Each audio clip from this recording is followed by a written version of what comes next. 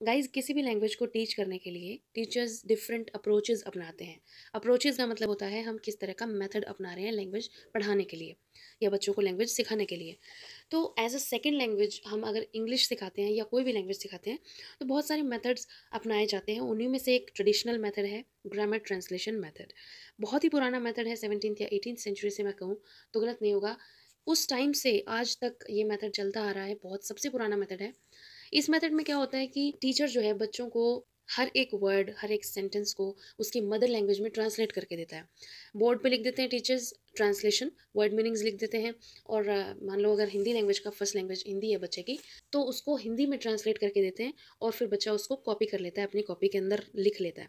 इसी तरीके से उसको ग्रामर सिखाई जाती है और उसके बाद ट्रांसलेशन के थ्रू उसको लैंग्वेज सिखाई जाती है। तो पुराने टाइम में जैसे ग्रीक लैंग्वेज हो गई या लतीन लैंग्वेज हो गई या संस्कृत लैंग्वेज हो गई, इस तरह की क्लासिकल लैंग्वेजेस पढ़ाने के लिए ये ग्रामर ट्रांसलेशन मेथड का यूज़ किया जाता था और जो कि आज तक भी चल रहा है।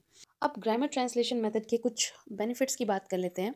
तो सबसे बड़ा बेनिफिट ये है कि टाइम बहुत सेव करता है। बच्चे बहुत जल्दी सीख जाते हैं मदर टंग की हेल्प से। देन स्टूडेंट्स की प्रीवियस नॉलेज को, टीचर्स उनकी मदर टंग की हेल्प से बहुत जल्दी समझ लेते हैं और बच्चों के लेवल पे आकर के टीचर उनको सेकेंड लैंग्वेज सिखाता है, जिससे वो और जल्दी काम कर लेते हैं और उनको समझ में भी आ जाता है। तीसरा बेनिफिट इसका ये है कि स्टूडेंट्स टारगेट लैंग्वेज को बहुत ईजिली सीख पाते हैं, क्योंकि हम बायलिंगुअल मेथड का यूज़ कर रहे हैं। Bilingual method means two languages एक तो उनकी मदर टंग, मातृभाषा, और दूसरी लैंग्वेज जो टारगेट लैंग्वेज है। टारगेट लैंग्वेज का मतलब जो भाषा हम उनको सिखा रहे हैं वो टारगेट लैंग्वेज होती है। तो दो लैंग्वेजेस की हेल्प से बच्चे ईजिली और हमेशा के लिए उनके दिमाग में चीज़ें रह जाती है और वो सीख लेते हैं। और एक फ़ायदा ये है कि बच्चे वोकेबलरी बहुत ज़्यादा इंक्रीज़ कर सकते हैं इस मेथड की हेल्प से। फिर आता है इसका सबसे बड़ा बेनिफिट कि ये लार्ज क्लासेस के अंदर बहुत अच्छी तरह से एप्लीकेबल होता है। स्टूडेंट्स ब्लैक बोर्ड से देख करके लिख लेते हैं अपनी कॉपी के अंदर और रिटर्न प्रैक्टिस के थ्रू वो अपनी इस लैंग्वेज को एक्वायर कर लेते हैं सेकेंड लैंग्वेज को।